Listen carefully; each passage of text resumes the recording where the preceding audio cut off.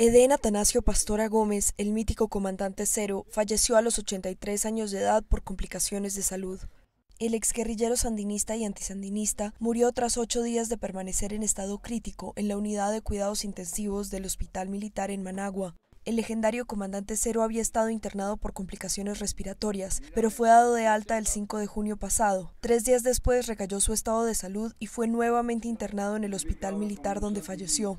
Pastora era delegado gubernamental nicaragüense para dirigir un dragado en el río San Juan fronterizo con Costa Rica.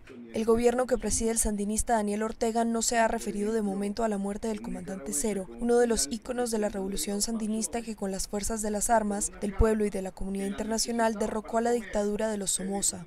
Pastora lideró el 22 de agosto de 1978 el comando sandinista que tomó por asalto el Palacio Nacional e hizo rehenes a los legisladores afines al dictador en una acción de tres días que concluyó con la liberación de decenas de presos políticos, aunque posteriormente criticó la conducción del proceso revolucionario. Nació el 12 de noviembre de 1936 en el municipio de Ciudad Darío, departamento de Matagalpa. Pastora procreó 21 hijos, 11 mujeres y 10 varones, producto de cuatro matrimonios y seis romances en México, Costa Rica, Honduras y Nicaragua.